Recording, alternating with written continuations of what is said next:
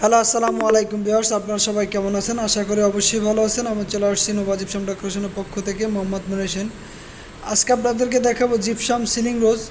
আমরা কীভাবে antique colour করছি, আজকে আপনাদেরকে দেখাবো। চলুন ভিডিও দেখতে থাকুন, অবশ্যই আপনাদের ভালো লাগবে। দর্শক দেখতে পারতেছেন, অনেক সুন্দর একটি জিপসাম সিলিং রোজ, বত্রিশ ইঞ্চি গোলাপ ডিজাইন।